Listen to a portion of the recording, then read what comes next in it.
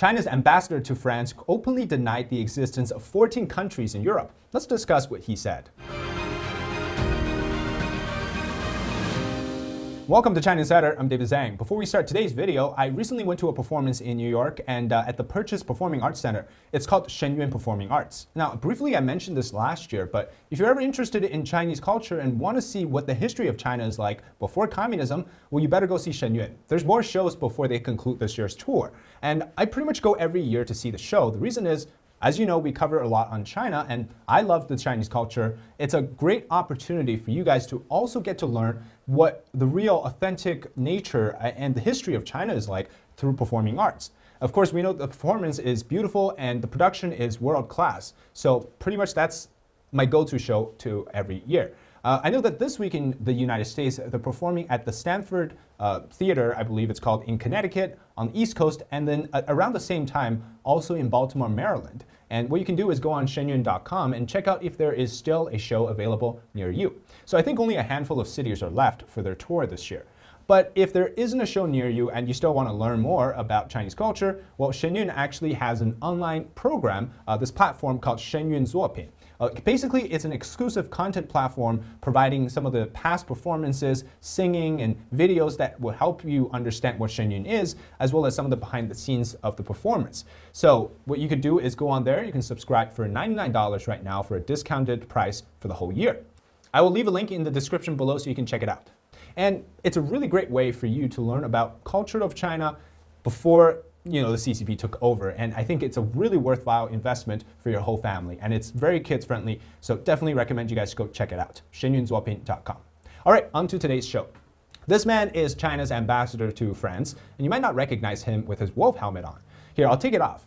But yes, that is a human being under there. His name is Lu Shaye. He's not a dog. But Lu made some outrageous barking comments live on TV when he was asked about China's view of Crimea and Russia in an interview for the French LCI network last week. When the interviewer says that Crimea belongs to Ukraine, Lu responded by suggesting that the issue was not clear cut and that countries such as Ukraine could not rely on international law to defend their sovereignty. He then says, quote, even these former Soviet countries don't have an effective status under international law because there is no international agreement under international law to concretize their status as sovereign countries.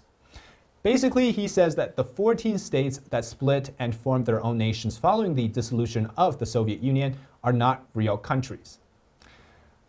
Interesting. Well, by this logic, Russia is also a former Soviet Union state. Does that mean the CCP doesn't recognize Russia either? Of course, they wouldn't dare to say that. This is just Lu saying the quiet part out loud of what the Chinese Communist Party actually thinks. Lu is a repeat offender of speaking out in what many now know as wolf warrior diplomacy, which is aggressive messaging, or what I like to call being the barking dog for the CCP.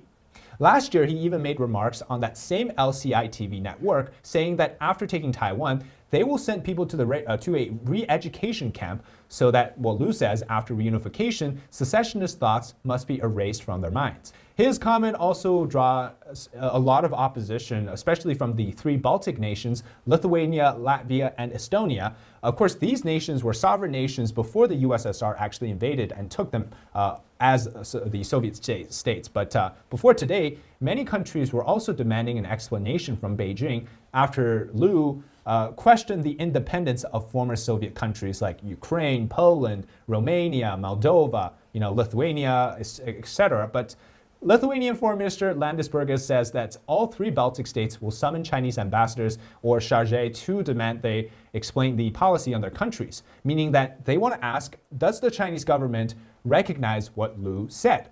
Now keep in mind though, China has official diplomatic relationship with, if not all, most of these former Soviet states. And that alone tells us that this is a lie. Lu's remarks show that the CCP has two-faced behaviors all the time, but uh, let's kind of dissect what exactly those are. On the surface, today, for example, the Chinese Foreign Ministry had distanced itself from Lu's remarks. Uh, they ignore, though, the question about Crimea. News outlets asked spokesperson Mao Ning specifically about Crimea, to which she basically gave the same answer, saying that China respects sovereignty, etc. But if she is really giving us the truth, why not just directly address the situation in Crimea? Does China recognize Russia's annexation of Crimea? So then, are we to believe on the surface that the CCP would actually distance itself from the ambassador? Of course not. In fact, what Lu said publicly on live TV is really the private thinking of most of the top CCP officials. Uh, why? Well, because their actions have clearly reflected it. So far, the Chinese Communist Party has not condemned Russia's invasion of Ukraine. It has even helped Russia to win by supplying lethal aid and arms. Now, that's not a country that actually respects the territorial sovereignty of other nations, right?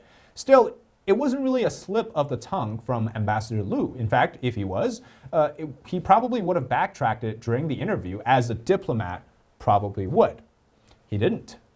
What this indicates is that the CCP truly believes Russia can and should restore the states it once had during the Soviet Union period, holding influence, perhaps even in some cases, being able to annex certain Eastern European states. Uh, now, in turn, this would generate a lot of influence in the Eurasia sphere for both Russia and China. And it actually fits the context of what the CCP calls rising east, falling west. So Lu was toeing the party line that the CCP has embarked on since the turn of the last decade. Starting from the end of the financial crisis in 2008, China under the CCP has concluded that the West is failing and the East will rise. From there, and since Xi came to power in 2012, inside the party, including Xi himself, has been talking about reshaping the world order. And of course, this has reiterated in multiple instances by the Chinese officials. Uh, Xi Jinping openly says that he wants to challenge the existing international order. And Qin Gang, the foreign minister of China last week, called on nations to follow China's modernization, which basically means our way of growing our country is much better than that of the West. These instances all suggest that the CCP is creating a system in which the East, in this case including Russia, and many authoritarian and totalitarian rulers can align together to form an alternative version to that where, uh, to the one where the US is in control. And this further explains to us why the CCP refuses to condemn Russia's invasion of Ukraine. Xi Jinping likely agreed with Putin that the combat to get rid of the Western uh, influences in East Asia or the Eastern Bloc they must also at the same time resist Western influence around all what they considered is the Eastern sphere, and um, at the same time also expanding the influence in the form of territory. China wants to make a move on Taiwan, of course, and Putin wants to restore the so called Greater Russia Empire. And China is willing to sacrifice diplomatic relations with these independent nations if that means Russia can receive a greater influence in the region. Just see Ukraine, right? Uh, here's the, another way we can confirm that this thinking is true. Today, the Chinese embassy in France released a statement in French stating that the ambassador's comments were only his personal beliefs and don't represent that of China. Well, isn't that funny? Since when do ambassadors and diplomats stop representing their country on live TV? Somehow double standards apply to the Chinese ambassadors now? Let's not argue that, but we should talk about this. This statement is only in French, not in Chinese. In fact, you can't find it anywhere in Chinese. That's not a coincidence. It's not on the Chinese version of the embassy website in Paris, or is it on the main foreign ministry website? Well, we're talking about the two-faced uh, CCP, right? This is their cunning side. While they so-called distance themselves from Lu in public statements made in French, they privately are silent to the Chinese population, actually promoting that idea of what Lu said. What does that tell us? Their domestic propaganda actually encouraged this behavior, and the substance in Lu's statement also. Lu himself even said this before, quote, the standard we evaluate our work is not how foreigners see us, but how domestic people see us. So, in fact, in China, on social media, people are praising the ambassador for his remarks about loving the country, calling him a sharp blade for China's diplomacy on the world stage. Domestic propaganda portrays Lu as a hero of the CCP. And why would the CCP allow this type of cheering to exist? It's actually pretty obvious because they wanted to.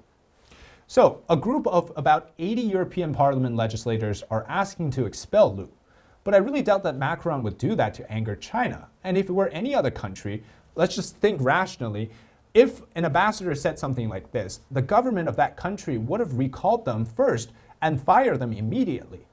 If the comments they made were not the official tones, then why the heck are they the ambassadors? And if they were just some personal remarks, well, what the heck are they doing representing your country? So, what has the CCP done so far? Well, other than offering some half assed replies on the foreign ministry side, nothing much. Even this has gotten many people to say that, oh, just say that, you know, this was a strategic blunder and that we should just follow the official statement which they have released, saying that it was some personal comment. It doesn't represent the official stance of the CCP. Well, actually, they're getting fooled by China uh, China's official stance is that of lying to you. So we have to recognize the true beliefs of the CCP.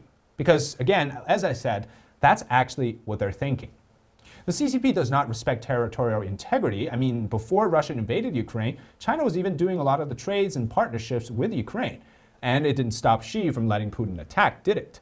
So, before we end, let's talk a little bit about France, because I think there's some joke here somewhere about Macron visiting China, Macron getting the embarrassment here, and Macron what he's going to do in the future.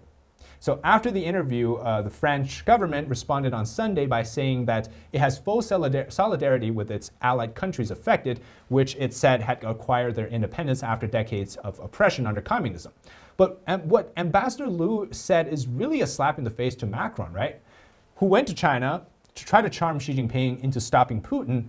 Not only did that fail, he himself, Macron, ended up getting charmed and was fed uh, this great reception to feed Macron's ego. This whole event basically confirmed to us one thing China and Russia are allies. They will not end the war for the benefit of Europe. If Russia invaded the Baltic states tomorrow, is there anybody in Europe who would seriously believe that the CCP would somehow condemn them? Well, if they do, perhaps Macron would believe it. Then I'm sure somebody in China would love to sell Macron a bridge. Those that don't buy the lies, however, like these former Soviet states that actually know what being under communism rule feels like, will be further emboldened to start arming themselves against a two front threat Russia and China. All right, that's it for today's episode of China Insider. If you enjoy the content, please subscribe to our channel and like this video. It'll help us grow. And also make sure to comment below what your thoughts are on today's topic. And before we go, just another reminder, check out shenyun.com or shenyunzuopin.com, which you will find a lot of exciting content that has to do with great classical Chinese culture and authentic ones before communism. All right, I'm David Zhang. This is China Insider. We'll see you next time.